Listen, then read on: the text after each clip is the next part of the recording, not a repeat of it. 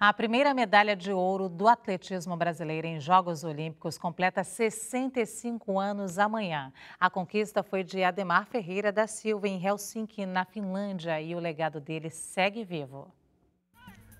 Atenção total de Adiel e Diego, filha e neto de Ademar Ferreira da Silva, eles ouvem como a Rádio Nacional transmitiu a primeira medalha de ouro do atletismo brasileiro em Jogos Olímpicos. É uma sensação todo Instagram! 16 e 22 para Ademar, quebrando então! Ademar chegou desacreditado. Ele chegou na Finlândia tocando violão, fazendo amizade com as pessoas na Vila Olímpica e nos jornais brasileiros é, nos jornais brasileiros saiu a, a manchete: Ademar, o único que não treina.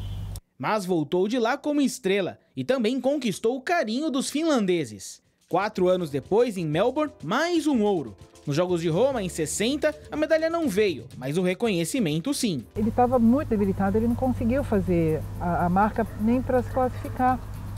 E você terminar uma carreira com o estádio olímpico em pé te aplaudindo, eu não sei quantas vezes a história, isso se repetiu na história olímpica, não sei. Ademar iniciou uma tradição. Depois dele, Nelson Prudêncio e João do Pulo conquistaram quatro medalhas olímpicas no salto triplo. E o paulistano também deixou marcas fora do esporte. Formado em Direito, Belas Artes, Relações Públicas e Educação Física, foi adido cultural do Brasil na Nigéria por três anos. Ademar Ferreira da Silva faleceu em 2001, mas o legado dele para o esporte continua.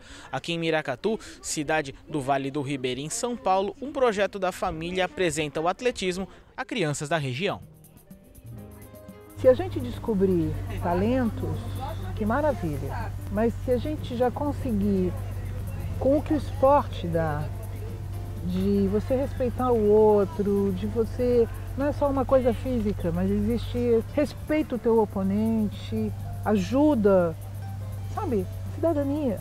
Se a gente já conseguir fazer alguma coisa, transformar algumas vidas nesse sentido, que lindo.